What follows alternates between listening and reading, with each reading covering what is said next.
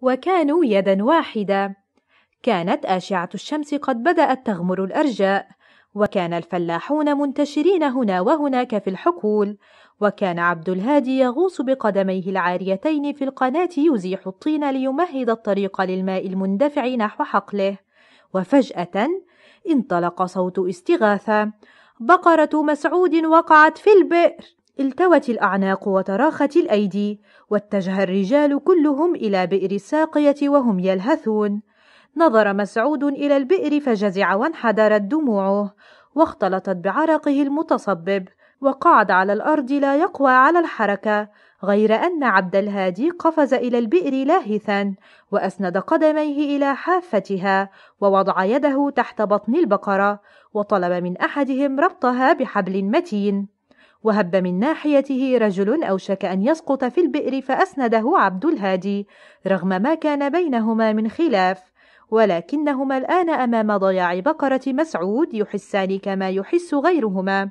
فعندما تنزل كارثة برجل أو امرأة فكأنما نزلت بأهل القرية جميعا ويجب عليهم أن يدفعوا الكارثة متكاتفين. ثم هبط إلى البئر رجال آخرون ووقفوا كلهم يتساندون ويشجع بعضهم بعضا وأيديهم تحت بطن البقرة يحاولون دفعها بكل ما يملكون من قوة لدفع الكارثة. كانوا كلهم يعانون في وقت واحد لحظات من اليأس المخيف.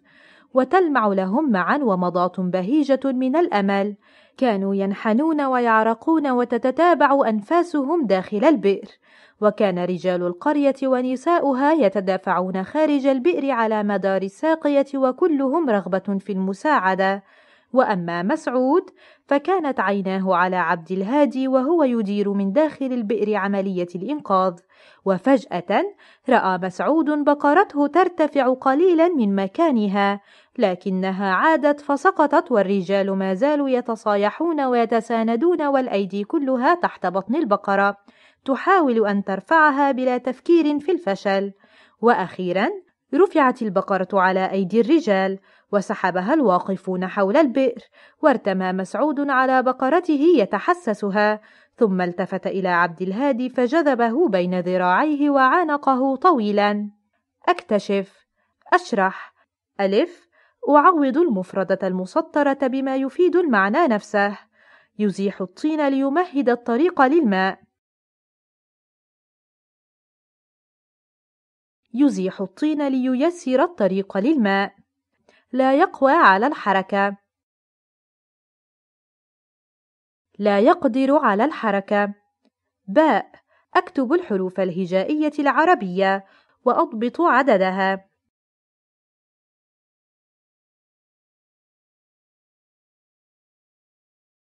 ألف باء تاء ثاء جيم حاء خاء دال ذال راء زاي سين شين صاد ضاد طاء ظاء عين غين فاء قاف كاف لام ميم نون هاء واو ياء. ضبط عدد الحروف الهجائية بثمانية وعشرين حرفا. أعمق فهمي. أولا أثر خبر سقوط البقرة في البئر تأثيرا كبيرا في مسعود. أبحث في النص عن قرائن تدعم ذلك.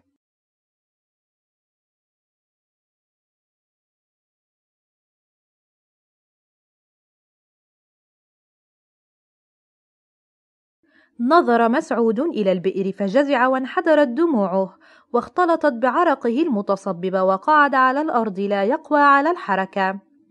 وأخيرا رفعت البقرة على أيدي الرجال وسحبها الواقفون حول البئر وارتمى مسعود على بقرته يتحسسها ثم التفت إلى عبد الهادي فجذبه بين ذراعيه وعانقه طويلا. ثانيا كانت الحادثة سببا في إعادة الوئام بين عبد الهادي ورجل آخر. أبحث في النص عن قرينة تؤيد ذلك.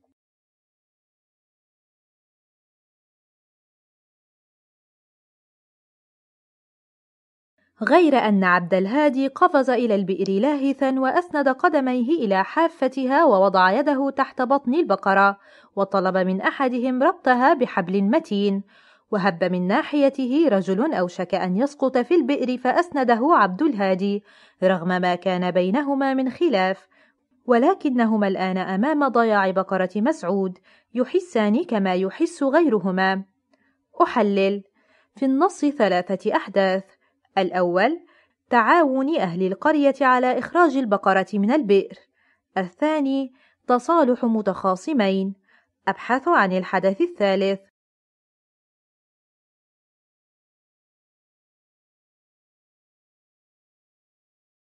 الثالث نجاح أهل القرية في إنقاذ البقرة. أبدي رأيي. أولاً تصالح عبد الهادي مع أحد الرجال بسبب الحادثة. لو كنت مكان أحدهما هل تنتظر مناسبة مثل هذه للتصالح والتسامح؟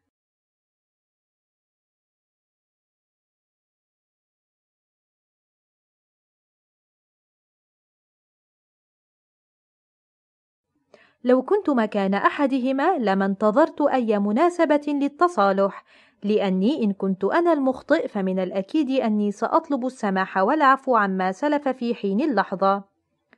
ثانياً، أذكر حادثة جعلت سكان الحي يتعاونون.